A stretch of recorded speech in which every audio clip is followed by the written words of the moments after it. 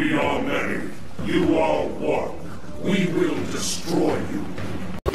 Shut up!